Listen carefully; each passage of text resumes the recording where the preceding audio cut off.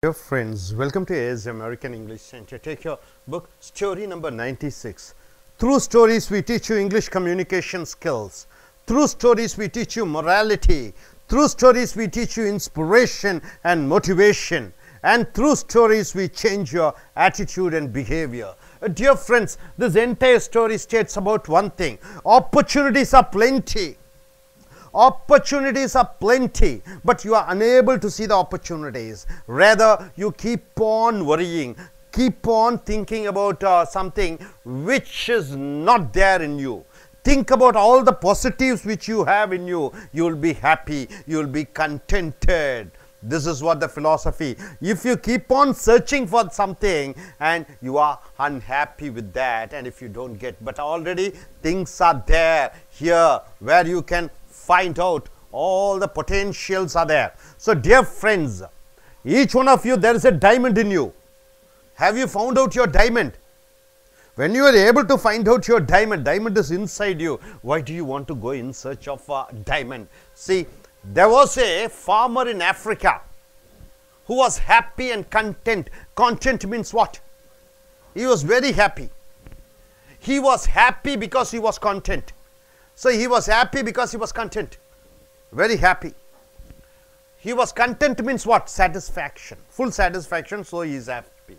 Because he was happy, one day a wise man, a knowledgeable man came to him and told about the glory of diamonds. What do you mean by glory of diamonds? The value of diamonds, right? People are ready to buy crores and crores of rupees. They are ready to spend for buying a diamond and the power that goes along with him so even Queen Elizabeth, she has a diamond uh, crown.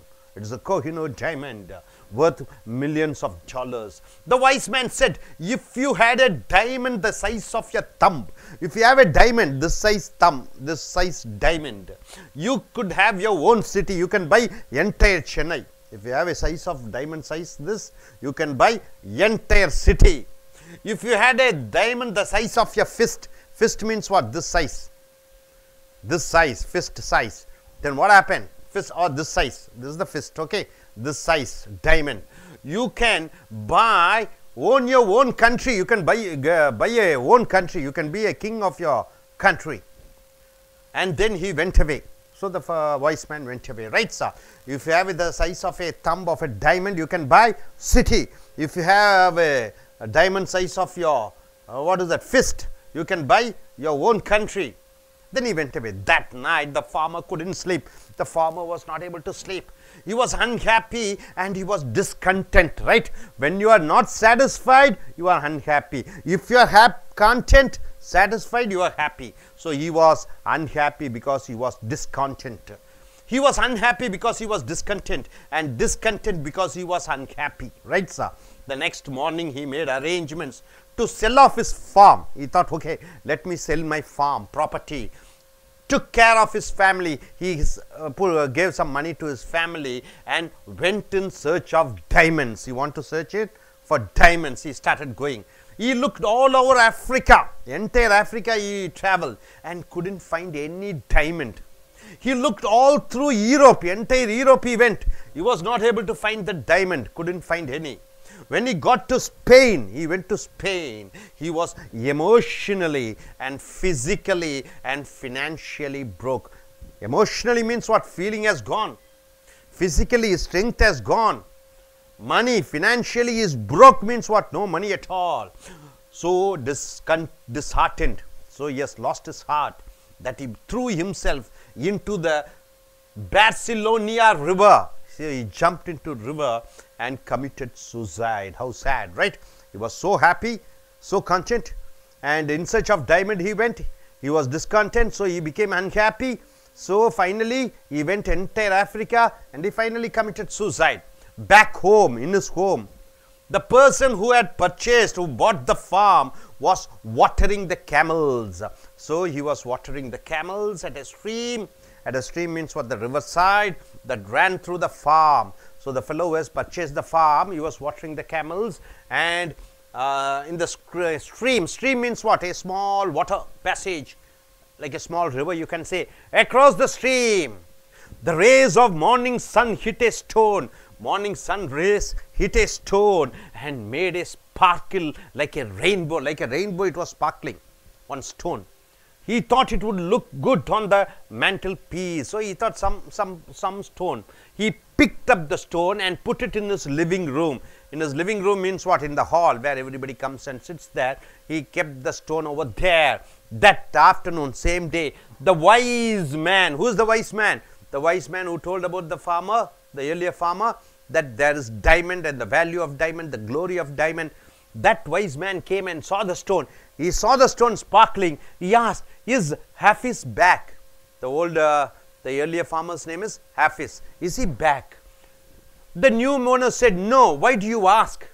The wise man said, Because that is a diamond. I recognize one when I see. When I see a diamond, I can recognize it is the diamond. Where is the Hafiz, the earlier farmer? So, what happened? The new farmer told, the man said, No, that's just a stone I picked up from the stream. The new farmer who purchased the land, he told, No, no, no, that's a stone I picked up from the riverside. Come, I'll show you. There are many more. There are a lot of stones are there. They went and picked some samples, lot of stones they picked and sent them for analysis means what? To find out what it is, to examine. And sure enough, the stones were diamonds. The stones were diamond, 22 carat diamonds. They found that the farm was indeed covered with acres and acres of diamonds. The farmer who sold his land, who want to search, uh, go in search of finding diamonds. And that entire land is full of diamonds. So, what is the moral of the story, sir? There are five morals in this story. One, two, three, four, five. What is the five morals? Whenever attitude is right, when your thought is right, when your thinking is right, when your thought pattern is right, we all realize that we are all walking on acres and acres of diamond. So, when your attitude is good, when your mental thinking is good, then we understand we are walking on acres and acres of diamonds are there. Opportunities always under your feet. Opportunities are plenty under your feet. Why do you want to be discontent, unhappy and in search of a lot of things? Every opportunities are under your feet. We don't have to go anywhere. No need to go to anywhere. All we need to do is recognize it. We should understand there is diamonds, there is wealth, there is opportunities right here. Why do you want to go to other places? The grass on the other side always looks greener.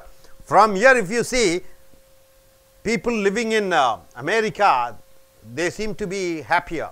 From here, you see people living in Australia, they seem happier. But from there, if they see us, they think we are happier. So, grass on the other side is always greener. Second philosophy.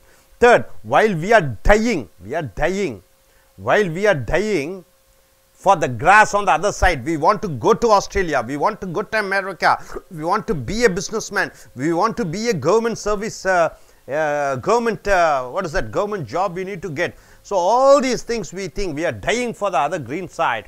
There are others who are dying for the grass on our side. Some people are thinking our life is better. We think their life is better. They would be happy to trade places with us. They are ready to come here and they want us to go there. They are ready to trade. So, the fourth philosophy, when people don't know how to recognize opportunity, when you are unable to find out the opportunity, when you are not able to recognize the opportunities, plenty of opportunities in Chennai, over here, they complain of noise when it knocks. So, when opportunity comes, we always say, it is something disturbing me. So, when you are always searching for some opportunities, when opportunities comes, you always say it is disturbing you. The fifth philosophy, the same opportunity never knocks twice. Opportunity only comes once, it never comes twice, right? Once opportunity comes, it goes away. Second time opportunity never comes. The next one may be better or worse. The next opportunity, it may be good or bad but it is never the same one, never the same opportunities. Opportunities keep coming, but we have to recognize first opportunity if we miss, maybe that opportunity is a better, good opportunity. Next time an opportunity comes, it may be bad opportunity or a good opportunity. Able to understand, sir? So, the philosophy here is if you are happy, if you are content, you are happy. If you are unha- discontent, you are unhappy. So opportunities fl- plenty. Why do you always look at the other side and you want to be like them and they think that we are better? Opportunities comes only once and it never comes once again. Able to understand, sir, the philosophy? I request this gentleman to tell the philosophy alone. Yes, sir. Start one by one.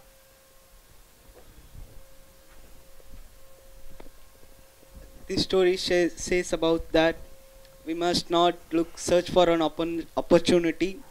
Uh, there is plenty of opportunity in our country. We must not go for America or Australia or any other states for finding a job or other things There are so many opportunity in our, opportunities in our state. We must make use of that. Uh, and uh, we must not wait for any other opportunities. If an opportunity is given, we must ye- make use of that. We should not uh, leave any opportunity. Thank you. Come, come. Yes, you can, you can come, speak. Try, try. Divya, come, come. Come. Okay நண்பர்களே ace American ஆங்கில வகுப்புகளுக்கு வரவேற்கிறோம் உங்களுடைய கதை புக்கை எடுத்துக்கொள்ளுங்கள் video number தொண்ணூற்றி ஆறு கதை நம்பர் தொண்ணூற்றி ஆறு. நண்பர்களே சந்தர்ப்பங்கள் வாய்ப்புகள் நிறைய இருக்கிறது. அதை உணராதவர்கள் அறியாதவர்கள் வாழ்க்கையை இழந்து நிற்கிறார்கள். துயரத்துடன் வாழ்ந்து கொண்டிருக்கிறார்கள். சங்கடத்துடன் வாழ்ந்து கொண்டிருக்கிறார்கள். நீங்கள் திருப்தியாக இருக்கிற பொழுது சந்தோஷம் உங்களை சே- வந்தடையும். திருப்தி இல்லாத பொழுது சந்தோஷம் இல்லாமை வந்தடையும். ஸோ இந்த கதையினுடைய தத்துவத்தை பார்க்கிற பொழுது ஒரு விவசாயி ஆப்பிரிக்க நாட்டிலே இருக்கிறார். வாழ்ந்து கொண்டிருக்கிறார். சந்தோஷமாக வாழ்ந்து கொண்டிருக்கிறார். திருப்தியாக வாழ்ந்து கொண்டிருக்கிறார். அப்பொழுது ஒரு ஞானி வருகிறார். அந்த ஞானி அந்த விவசாயியிடம் சொல்கிறார் வைரத்தினுடைய மகிமையை உனக்கு இந்த இந்த விரல் என்ன விரல்? கட்டை விரல் அளவு இது வைரம் இருந்தால் ஒரு நகரத்தை விலைக்கு வாங்கி விடலாம். இந்த ஃபிஸ்ட் என்றால் என்ன? கையளவு. இந்த அளவு வைரம் இருந்தால் ஒரு நாட்டையே விலைக்கு வாங்கி நீ ஒரு ராஜா ஆக்கி விடலாம் என்று சொல்ல இந்த விவசாயி ரொம்ப ஆர்வ மிகுதியாலே என்ன செய்கிறார்? சந்தோஷம் இல்லாமல் இருக்கிறார். ஏன்? திருப்தி இல்லை. இன்றும் நிறைய வைரங்களை நாம் சம்பாதிக்க வேண்டும் என்ற காரணத்தினாலே தன்னுடைய தோட்டத்தை விற்கிறார். தன்னுடைய குடும்பத்திற்கு ஓரளவு பணத்தை கொடுத்துவிட்டு ஊர் விட்டு ஊர் செல்கிறார். நாடு விட்டு நாடு செல்கிறார் வைரத்தை தேடி. நாடு நாடாக அலைகிறார். ஆப்பிரிக்கா கண்டம் முழுவதும் தேடுகிறார். கடைசியில் ஸ்பெயின் நாட்டுக்கு வருகிறார். மனது உடைந்து விடுகிறார். உணர்வுகள் உணர்ச்சிகள் மறுத்து விடுகிறது. பண ரீதியாக எல்லா பணத்தையும் இழந்து விடுகிறார். அங்கே ஸ்பெயின் நாட்டிலே அந்த ஆறு பர்சிலோனா என்ற ஆற்றிலே விழுந்து தற்கொலை பண்ணி விடுகிறார். ஸோ அந்த தோட்டத்தை வாங்கி அந்த காட்டை வாங்கி அந்த விவசாயியிடமிருந்து தோட்டத்தை வாங்கியவர் தன்னுடைய ஒட்டகத்திற்கு தண்ணீர் கொடுப்பதற்காக ஆற்றுக்கு அழைத்து வருகிறார். ஆற்றிலே அந்த ஒட்டகத்திற்கு தண்ணீர் குடிக்கிற பொழுது அங்கே சூரிய ஒளியினாலே ஒரு கல் மின்னிக் கொண்டிருக்கிறது. அந்த கல்லை எடுக்கிறார் தன்னுடைய வீட்டிலே வைத்து இருக்கிறார். அப்பொழுது அந்த ஞானி வைரம் வைரத்தினுடைய அருமையை பற்றி முதல் விவசாயியிடம் சொல்ல அந்த ஞானி வருகிறார். அந்த ஞானி அந்த வைரத்தை பார்க்கிறார். எங்கே ஆஃபீஸ்? எங்கே சொல்லிட்டு விட்டார்?